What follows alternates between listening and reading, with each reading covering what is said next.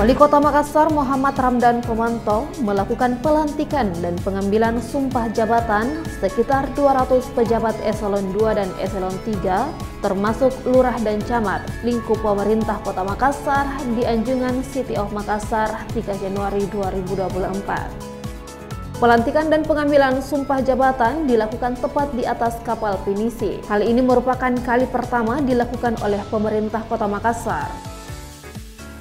Dani Pemanto mengungkap alasan memilih melantik pejabat di atas kapal Pinisi Makassar karena merupakan ikon dari kota Makassar.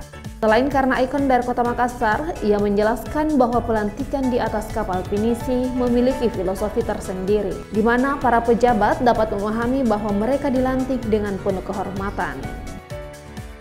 Dani berharap para pejabat yang telah dilantik dan diambil sumpah jabatannya dapat menjalankan tugasnya dengan baik dan memberikan pelayanan yang baik kepada masyarakat. Rabu, tanggal 3 bulan Januari tahun 2024, saya, Wali Kota Makassar, dengan ini secara resmi melantik saudara-saudara dalam jabatan struktural di lingkup pemerintah Kota Makassar.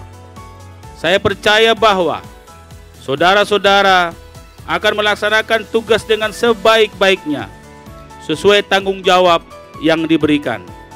Semoga Allah Subhanahu wa taala, Tuhan yang Maha Esa, senantiasa memberkati kita semua.